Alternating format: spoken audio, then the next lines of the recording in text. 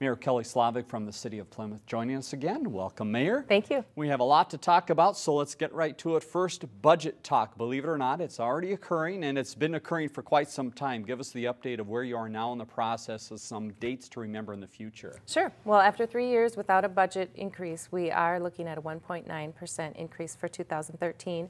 But for the most homeowners, they'll actually see a decrease in their city property tax because the commercial industrial portion is starting to pick up a little bit more of the tax. So um, we are having a budget uh, hearing on Tuesday, December 11th at 7 p.m. in council chambers.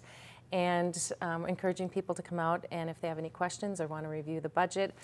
When you pay your for every dollar that the city collects in property taxes, 22 cents on a home comes to the city, 10 mm. cents on a business comes to the city. So we provide a lot of core services for that, and we're really focused on maintaining those services with our limited tax dollars. All right, and again, if you have questions, you can go to the city's website, some information there as well. Let's talk events, a busy time of the year for the City of Plymouth. Let's start with the pets. Sure, sure. We're going to keep people very busy. That's good.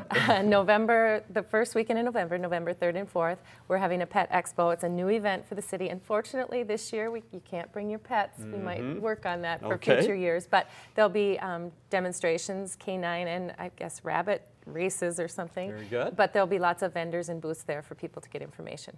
And for those that love exercise, a little walking news and 5K running news. Tell us about those. Sure. Well, our dome is opening up free for walkers and runners. Mm-hmm. It, that's November 5th. Hours changed based on the uh, rental of the facility, so we encourage people to check the website, and we have a hotline set up too where they can call and get the hours for the day. Great. And 5K runners. Yep, this is a new event too, Saturday, November 10th. It starts at the Hilde Performance Center. It's a paint the pavement 5K run and walk, Mm-hmm. and people will have the chance to leave their artistic stamp on Plymouth uh, as they're running through paint and leaving a footprint. Ah, so very interesting. All right, Yes. Mm-hmm. Continue the art theme. Art fair coming up soon as well. Yes, after a two-year hiatus, our art fair is back Saturday, November 17th, Sunday, November 18th. Free family event. We'll have lots of artists there showing their wares, and they will be for sale. And we'll have entertainment for kids and music as well. And we have to say it, Christmas is coming Mm-hmm. soon. Old fashioned Christmas coming again. Yes, yes. On December 2nd from 2 to 5 at the Plymouth Historical Society, we're going to have a special guest there in a red suit again this year. So we're excited Mm-hmm. And not the about mayor. that. Nope, nope.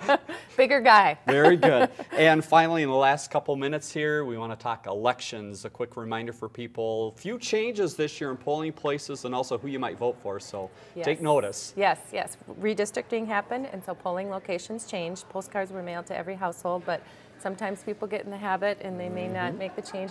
We really encourage people to visit the city's website. There's a link to the Secretary of State site where you can put your address in, get your polling location. There'll be sample ballots to review as well. All right, so people, again, an opportunity to get that information ahead of time. Mayor Slavik, thanks again for your time. We'll talk to you again soon. Thank you very much.